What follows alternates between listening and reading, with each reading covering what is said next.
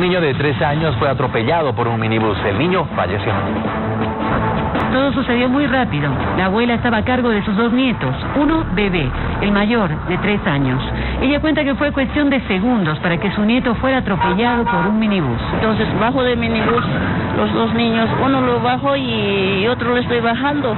Cuando me doy la vuelta el agua ya está perdido, el minibús se levantó y ha empezado ahí abajo. el mismo minibús del que usted baja lo atropella a su nieto. Sí, es. El menor fue trasladado al hospital Los Pinos, sin embargo los golpes y fracturas múltiples pudieron más. Lastimosamente las lesiones que él tenía eran altamente letales, muy graves y fallecido. El niño de tres años falleció en el hospital. Su familia pidió trasladarlo a su hogar, donde quieren darle el último adiós antes del entierro.